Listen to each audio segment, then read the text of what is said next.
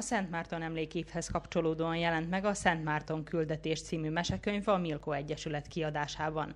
Csík Mónika költő, írónő kapott felkérést arra, írjon meséket az 1700 évvel ezelőtt született szentről. Jócskán bele kellett ásnom magam egyrészt a negyedik századi történelembe, másrészt művelődés történet és történeti szempontból is fontos volt egy kicsit kutakodni arról, hogy hogyan éltek akkor a beli szerzetesek, hogyan nézett ki egy monostor, hogyan alakultak a szerzetesek napjai, milyen ruhákat hordtak akkoriban az emberek, miket ettek akkoriban. A mesekötetet Szalai Attila grafikus, karikaturista illusztrálta.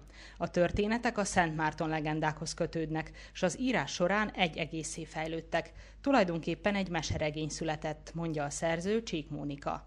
Annyit talán elárulhatok, hogy innen indul a jelenkorunkból, és a negyedik századba utazunk vissza, Szent Márton nyomába, tehát ez egyfajta kalantúra is, meseköntösbe burkolva. A könyv, amely a Minerva könyvkézőben készült a Szabadkai Székhelyű Milko Egyesületben, illetve a Daniló kiskönyvesboltban szerezhető be, s a szerző öt éven felülieknek és felnőtteknek is ajánlja a történeteket.